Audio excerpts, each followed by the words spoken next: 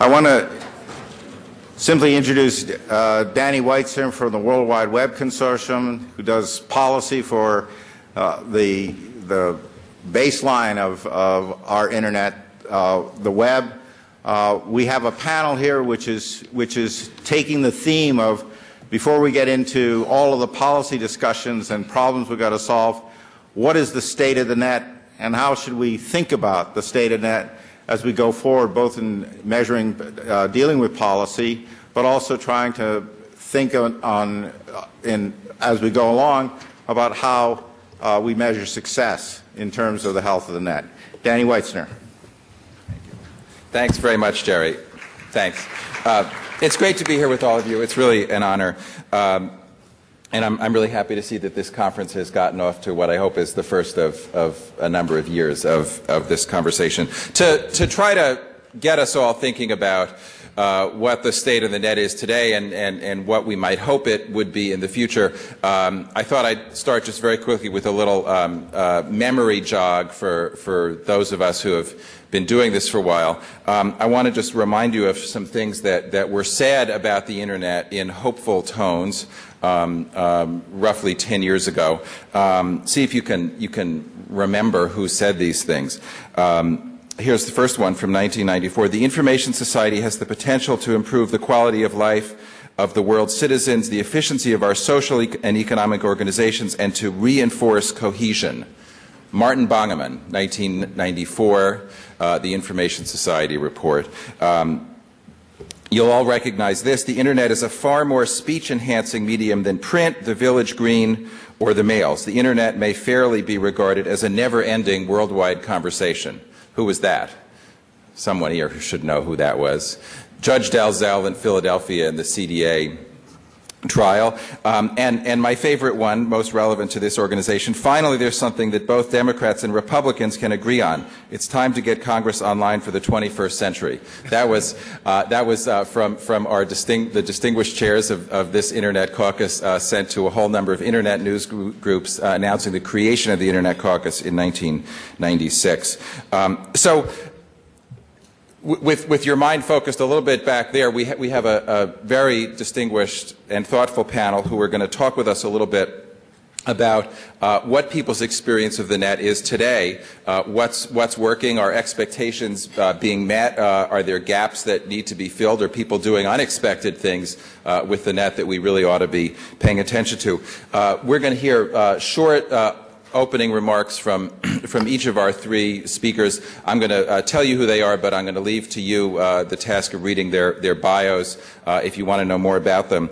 Um, and, and I, am just going to pose a couple of short questions to each of them. We'll talk a little bit amongst ourselves, and, and, and you should uh, uh, think about questions that you may have for them, and, and towards the end of the session we'll have time for, uh, for, for questions from the audience.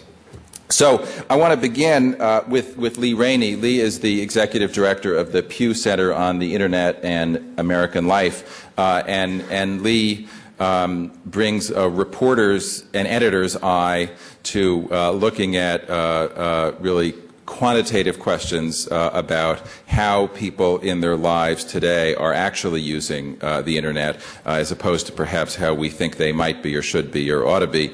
Um, so, so Lee, what, what, do you have to tell us about um, uh, what people are doing with the net on a day-to-day basis? How does it, how's it changing people's lives?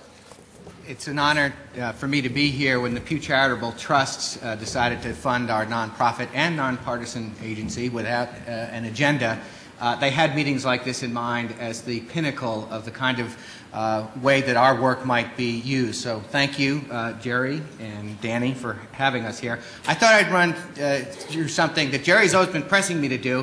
What's the state of the net? Well, I'm not going to give that kind of information, but I can tell you a lot about the state of the net population. And there are six sort of policy relevant facts to, to keep in mind as you're thinking about uh, the internet. The first is internet use is the norm in America now. 61% of American adults, 84% of American teenagers use the internet.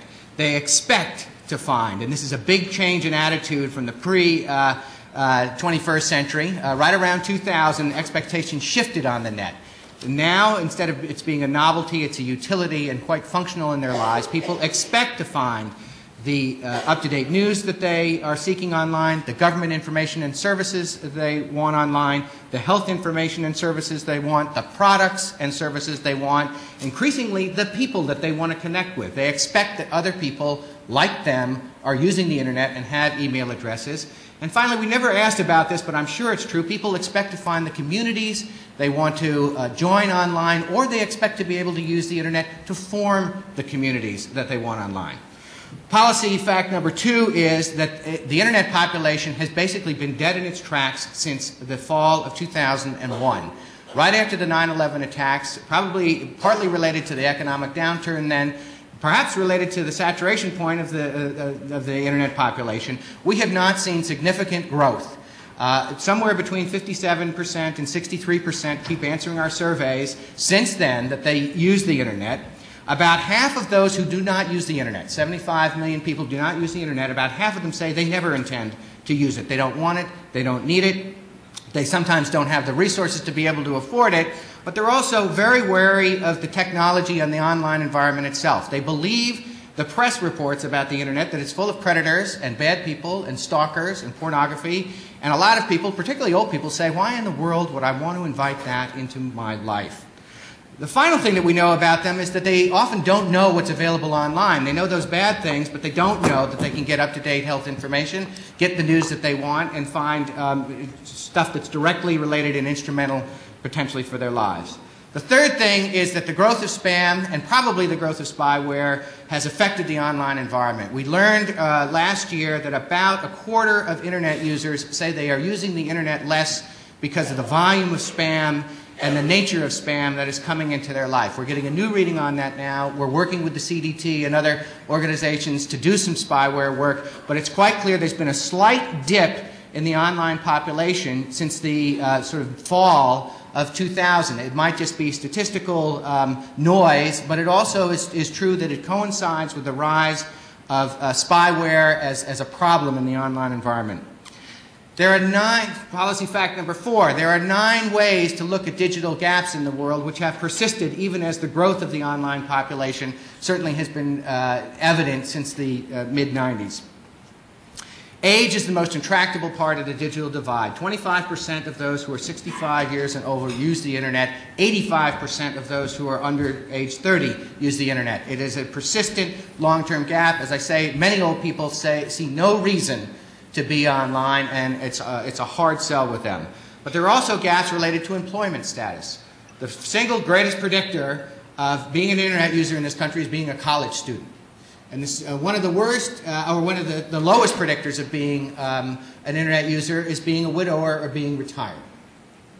Uh, a third strong factor relates to educational attainment. If you've got a graduate degree or a college degree, you're much more likely to be online than someone who has a high school diploma. Obviously, income relates to the digital divides. Those who come from high income households are much more likely to be online than those from moderate incomes.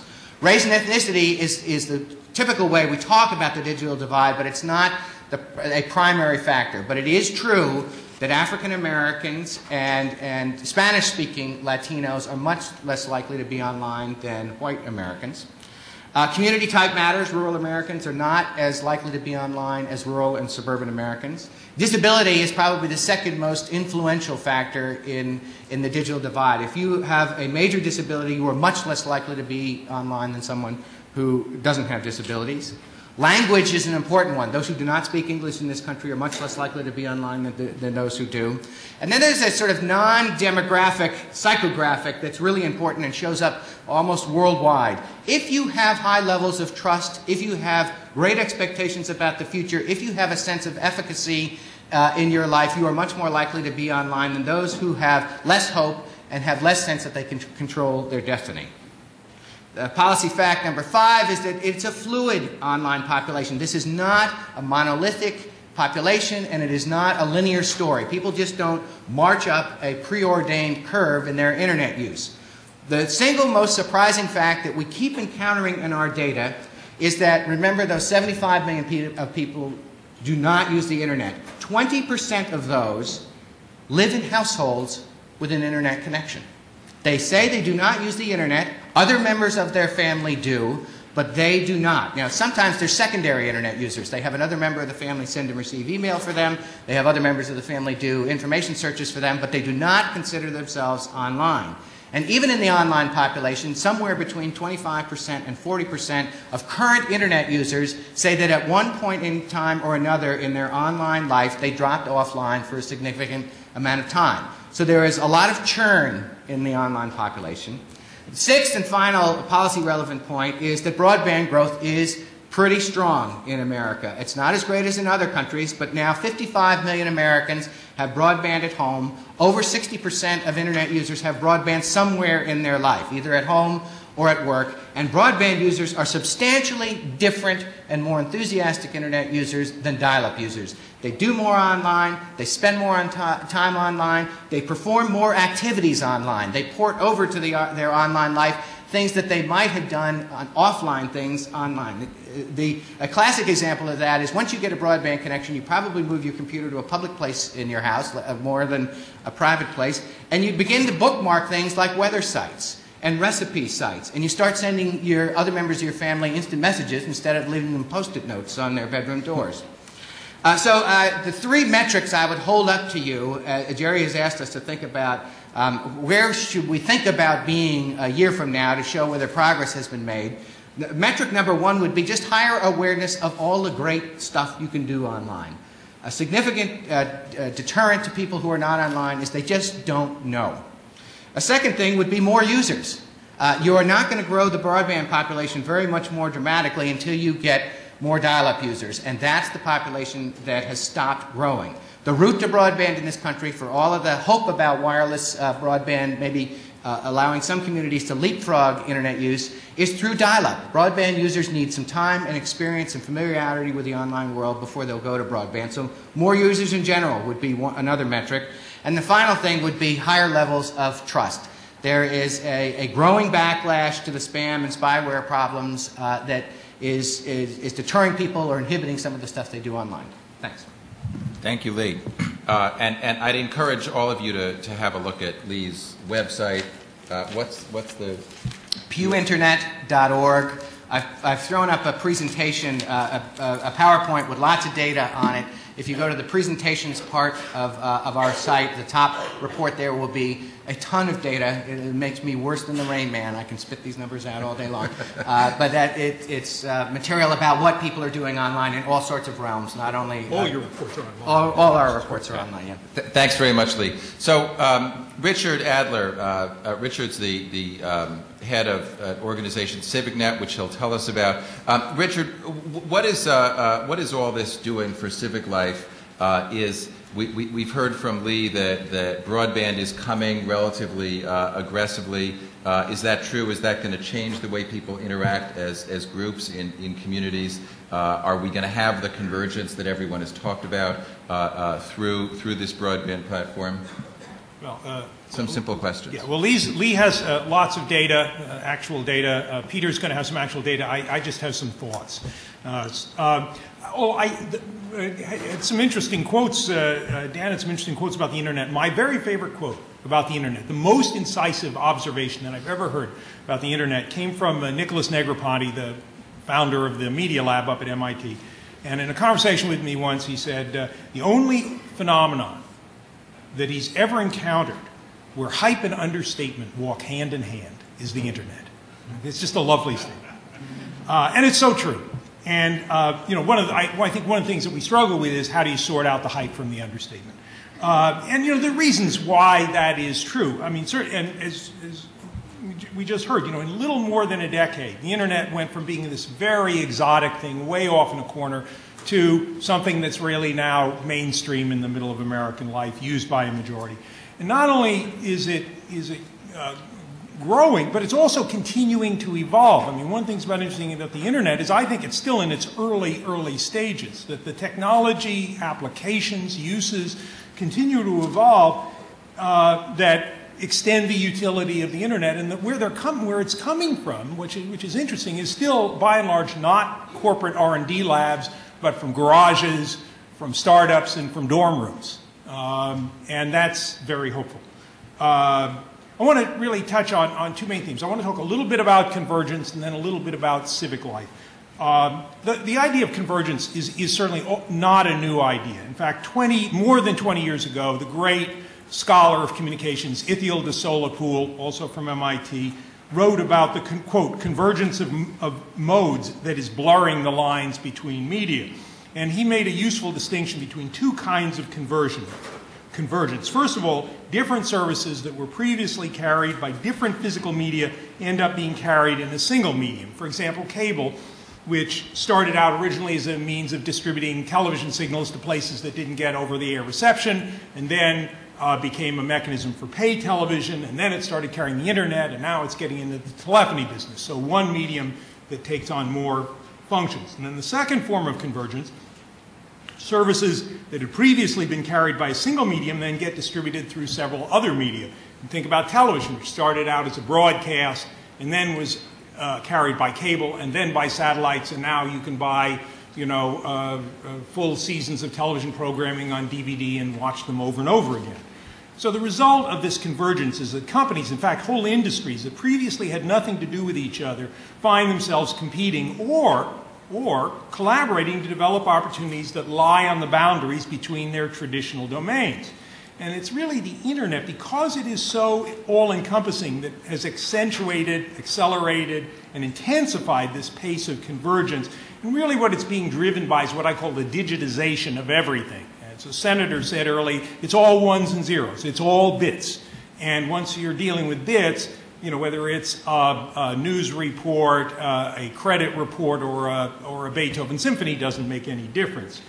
The key factor, I want, the point that I really want to make, the key factor that really is gating the issue of convergence and really what is causing the friction in the system isn't technology, the fact that what is converging are vastly different industries, each with its own worldview, with its own paradigm, its own history, its own economic models, legal and regulatory structure, its own cultures. And really, that's where the difficulty is. Let me just give you a couple of examples um, of three different paradigms that are, that are coming together. And you can see it in this conference, by the way. The first is what I call the communications paradigm, exemplified by the telephone industry. Historically, large regulated monopolies. You know, I can remember the day when AT&T was the largest company in the world.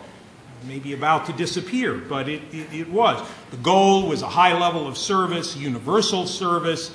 Competition was a fairly alien notion, and th- these were industries that were, were regulated, and they were, their basic goal was simply to link people together to communicate. There was really no content, they were common carriers. Second was what I call the information or the computing paradigm. It's based on enabling people to access, manipulate, and disseminate data or information. This is centered psychically in Silicon Valley, hardware and software. And because this industry is based on Moore's law, it's one that has evolved and changed with incredible dynamism. And it's one that's had little regulation. And the computer industry is generally viewed that technology moves much faster than uh, legal or regulatory systems can and has really tried to avoid it rather than deal with it. And then third, completely different paradigm, it's what I call entertainment paradigm, which is based on creating content generally produced by a relatively small number of creative producers and distributed to large audiences. It's a hit-driven business. Uh, also been relatively lightly regulated, except uh, for over-the-air broadcasting, because they use the public airwaves, kind of a quaint notion these days, I think. And, you know, the issue of indecency is the one that has been uh, the centerpiece there. You look at the, who's sponsoring this conference, this is you know, something I'd put together beforehand, but it's very interesting because you've got Verizon and MCI representing the communications paradigm, you've got Microsoft and RSA representing the communications, uh, the computing world, and then RIAA representing the world of entertainment. And all of these coming from their own traditions. There are other paradigms as well. The publishing paradigm, books, magazines, and newspaper, each with its own culture.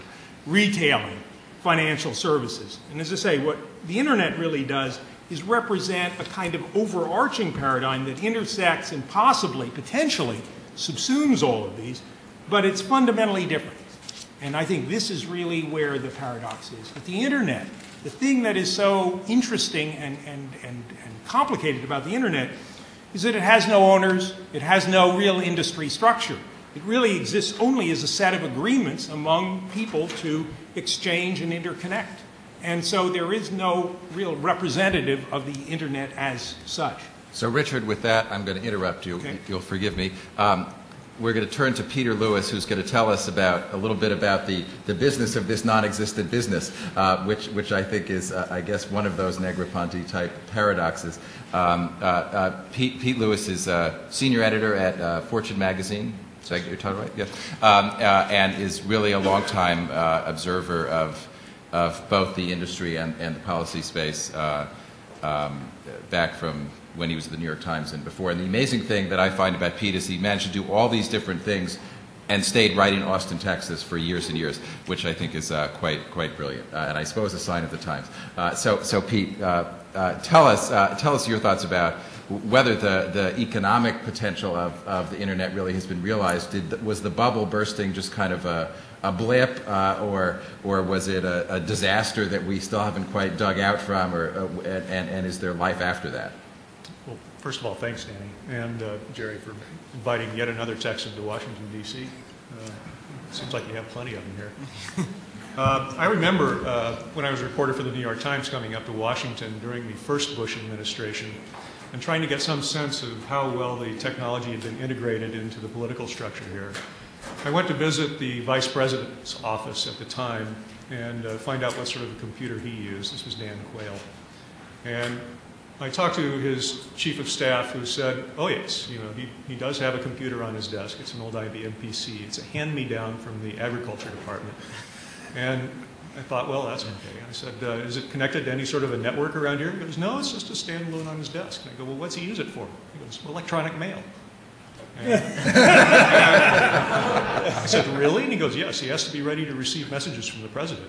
And uh, I thought, boy, are we in trouble. And then I come here to a conference like this uh, so many years later, and it's certainly much more encouraging to see so many people uh, interested in the technology and in the policies behind it. Um, I remember also being out in Silicon Valley in 2000, right after the, uh, the bubble began to pop. And I talked to a leading venture capitalist, and I said, you know, how bad is this going to get? And he said, stay alive till 2005. And that was the mantra. That was the measure of success. If they could keep things going until 2005, he predicted things would start to turn around. I think he may be right. You know, we're looking around the internet economy right now, and we're seeing things like the Google IPO, uh, which certainly uh, harkens back to the old bubble days. We see others poised for IPOs in the tech industry, like Wayport. It's an Austin, Texas company that provides wireless internet access to all of the McDonald's and many of the airports that you guys visit. You look at uh, uh, not only that, but companies like Dell, also in my hometown, which uh, is well known for making computers, but uh, is also a tremendous web power. If you look in terms of sales of consumer electronics, things like uh, software and, and MP3 players, Dell ranks number three in the country behind Best Buy and Circuit City. So it's really transforming companies. On another level, uh, just as uh, Lee suggested, you know, the, the net has so insinuated itself into everyday life that it's kind of hard to measure what its impact is on the economy. Uh, any more than we would say, well, you know, what's the impact of the telephone on, on the economy? We no longer think of the network behind the things that we do any more than we say, I'm going to make a call on the telephone switch network. We say, you know, I'm going to make a call. And these days, uh, you know, it was interesting to uh, hear the senator from Alaska say VoIP, as if it was, you know, just sort of a standard uh, term. Uh, those sorts of things are, are changing so fast. We, uh, we make a call, we send email, we look up something on Google, we buy something on eBay. Uh, if you're under 30, you uh, chat or instant message and, and, those things. You don't really think about what's behind it.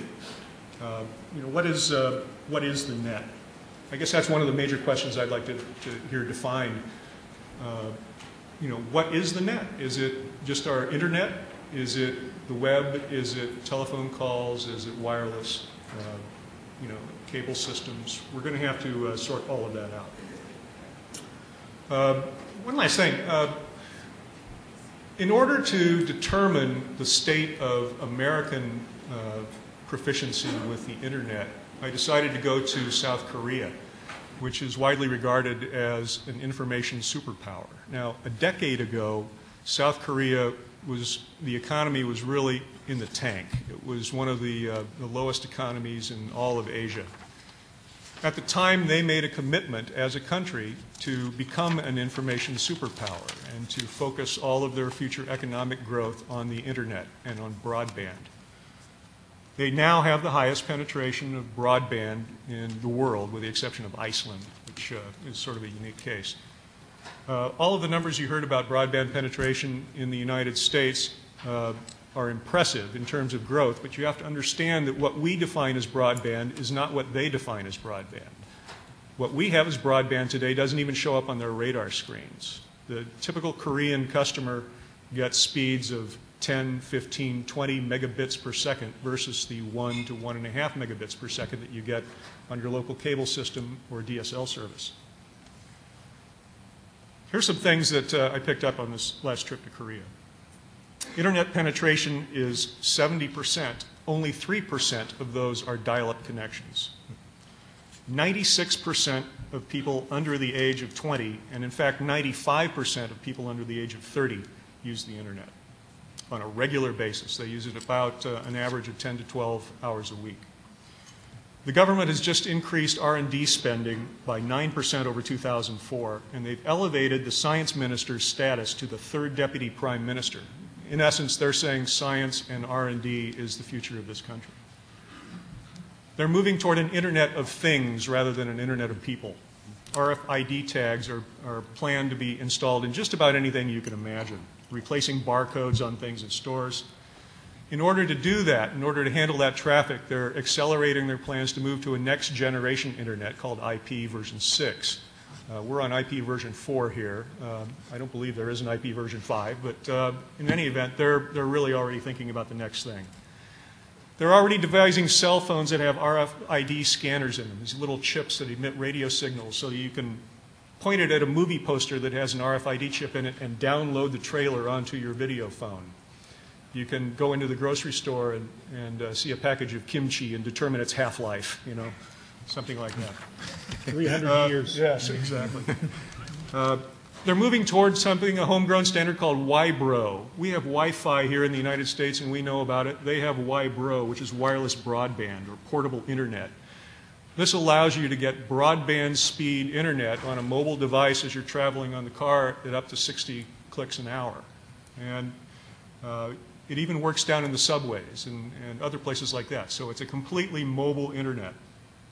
In addition to that, 40% of Korean cell phone users now use wireless internet regularly. 62% of those are in their 20s. 84% of those are in their teens. Let's get some exercise here. How many of you here are under 20? Okay. We just don't get what's going on out there. Uh, it's very difficult for people who are over 40 to really understand the scope of the change that's going on in the net right now. Satellite digital media broadcasting is big in Korea. By May, there are going to be 14 video channels and 24 audio channels, and that's DVD quality video and CD quality audio that can be broadcast to mobile devices. Japan has already launched those services, but uh, Japan has chosen to put it into automobiles, uh, whereas the Koreans are going into mobile handsets. Here's something to wake you up. Mobile spam in this society, where everybody is using cell phones and broadband, now outpaces desktop spam in Korea. That's something that uh, we're going to have to start thinking about. What happens when the spam actually goes into your pocket and not just onto your computer screen? Location-based services. Uh, we use GPS systems here to track all sorts of things. Uh, over there, they're building land-based location systems, which are terrestrial, which means that you can track people as they walk through buildings, as they go through subway systems, and other things. So uh, there are all sorts of positive and negative connotations to that. Robots. Uh, I think robots are going to be the next big industry. Uh, we've already uh, started deploying uh, weaponized robots over in Iraq, uh, but those are just a small segment. The market for domestic robots is going to be taking off according to uh, a number of United Nations studies worldwide. Korea is getting ready to deploy by the end of this year a new generation of service robots. Uh, they call them males and females. The males will be used as bank security guards and actually have the capability of throwing nets over people that they think are, are doing suspicious activities. The female robots uh, entertain people, answer questions, and uh, do things like that. That's uh, part of the Korean culture. Anyway, I, I'm really. Well, so ha- happily, we don't have to go into that aspect of the um, the questions you've raised. Uh, Our Congress beyond my, will. It's Our beyond my will. capability. I'm certain as a moderator. Um, uh, uh, Pete, I want to I want to follow up on, on your Korean experience and, and see whether there's something we can learn about what we should be measuring and how we should be assessing our own progress here. You you started off by by pointing out that that that, that South Korea indeed has these sort of tremendous broadband services that are very cheap and fat pipes, as, as, as, as techies would say. Um, and then what you went on to talk about were a whole bunch of other services and technologies, RFID, scanners on cell phones, uh, uh, location-based services, which, to, to, to my understanding, are actually uh, very much about uh, services that are kind of in the hands of end users or, or capabilities that that, that, that enable users to process information in, a, in perhaps a more sophisticated way. And I'm, I'm wondering, uh, uh, in some sense, what should we be measuring about ourselves? Should we be saying, well, uh, uh, we don't have uh, uh, the, the, the bit rate to the home that, that Korea has? Or should we be saying, well, we don't have all those other things? Uh, where's, where do you think the growth is going to come from? I suppose this is in some sense a question, you know, does size matter uh, about, about, about broadband? Or are there other things that we should be worrying about, that we should be assessing as we think about our progress as, a, as an information society? I think one of the first things is to look on a governmental level. Uh, the South Korean government has made very clear what its internet strategy is and, and said, here are our goals for bringing broadband to the population in terms of bringing higher bit rates to the population. You know, they want to be at 100 megabits per second within five years.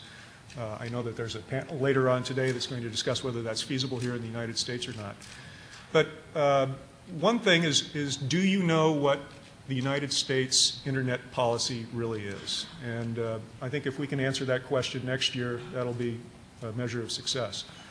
Another thing is, of course, uh, uh, taking a look at some of the figures that uh, Lee has found in his latest study about whether the trust levels of the internet are going to increase here. Because most people I talk to expect that as we become more uh, tied to the net for everyday activities and critical infrastructure tests, the chance of a meltdown, a uh, internet Chernobyl type of event increased dramatically, uh, whether it's terrorist-based or, or simply a suicide squirrel throwing itself on a transformer and knocking out all of the Starbucks cash registers. Uh, so we'd have to see if the level of trust comes up. I, I'm curious for uh, um, uh, either Lee or Richard's thoughts on, on the question of trust. Um, Lee, you said that, that um, some proportion of people who don't use the internet uh, are, are staying away from it because there's something about it they don't trust.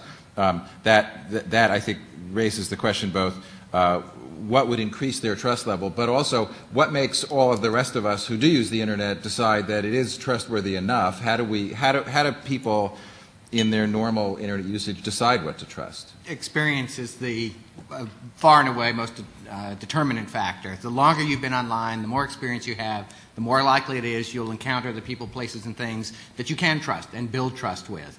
Uh, once people have taken the plunge and given their credit card information to make that very first online purchase, they are radically different internet users after that if they've had a successful experience.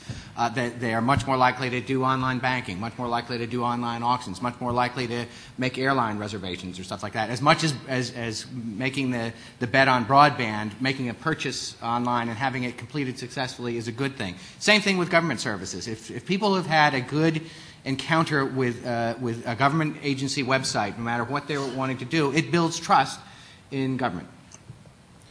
So, so Richard, in this converged world that you're talking about, do you think we have to think about trust differently?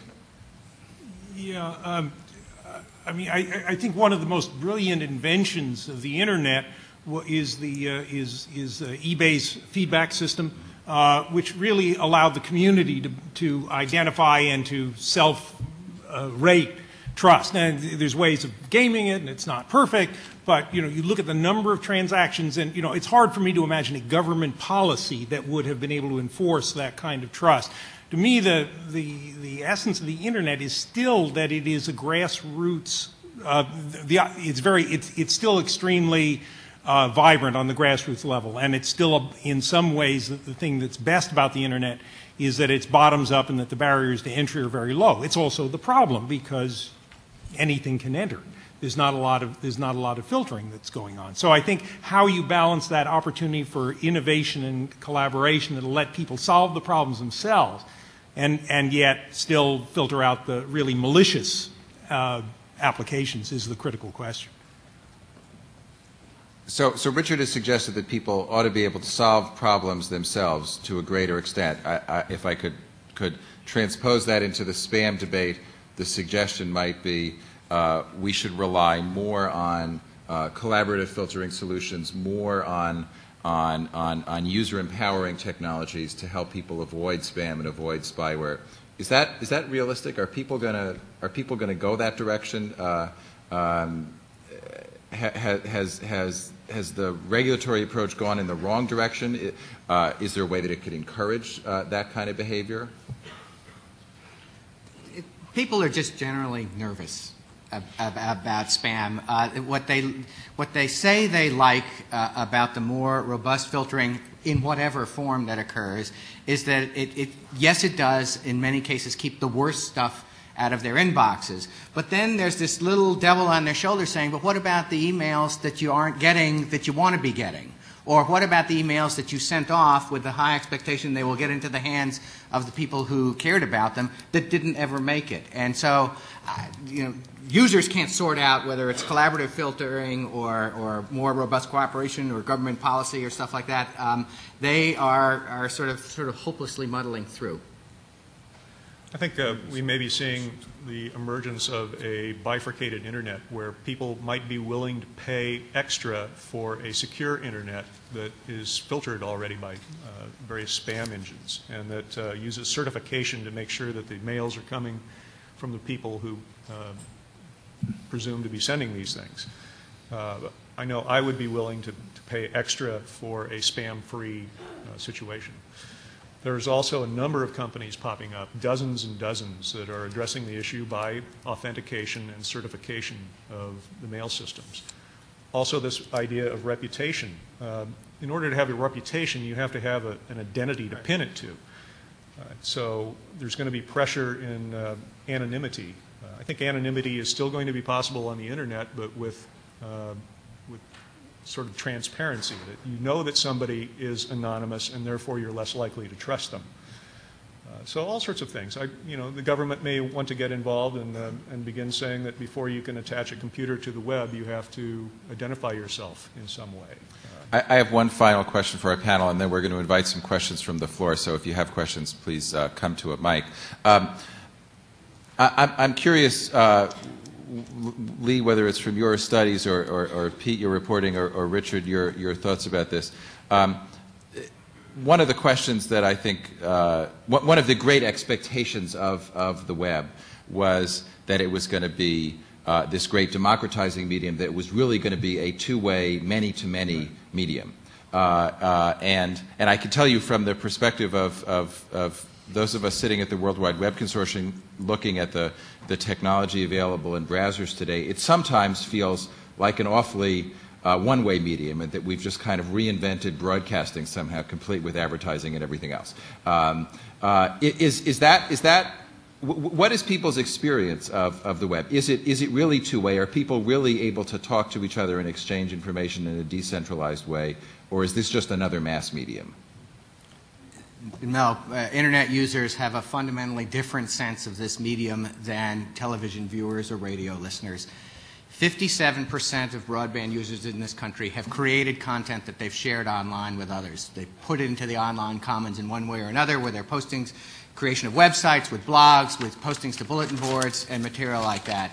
And more importantly, even those that haven't done that have the expectation of it. They want government websites to have a uh, the capability of responding back to the government. 38 million people have already gotten involved in, in lobbying efforts uh, online uh, to the government, and they the two-way interactive component of this is a, is a fundamental given that is um, that over time every internet user comes to appreciate.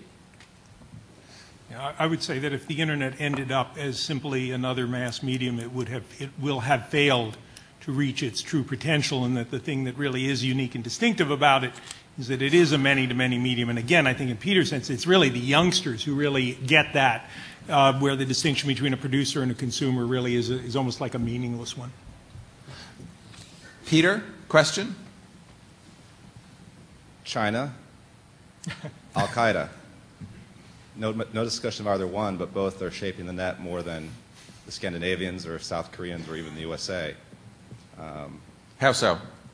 China is already on IPv6, and I remember going to a W3C event in Hawaii in May of, it was June of 1995, talking about IPv6 and whether W3C or ITF would drive it forward, and we still have that dilemma of non-adoption in this country where band-aids on band-aids on IPv4, and it's really kind of silly at this point.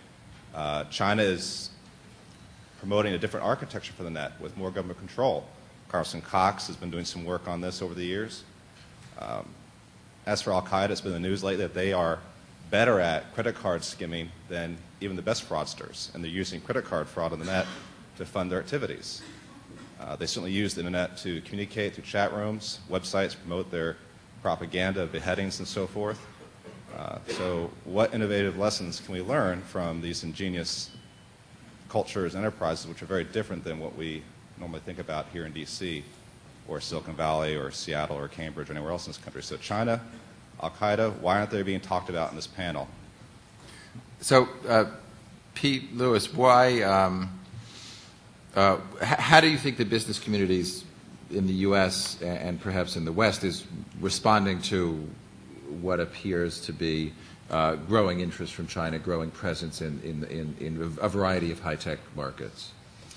Well, uh, one other Korea data point. Uh, the Korean government just issued a survey saying that they expect China to surpass them in technology within two years and uh, to make a run at the United States within the next five or six years uh, in terms of overall technological superiority.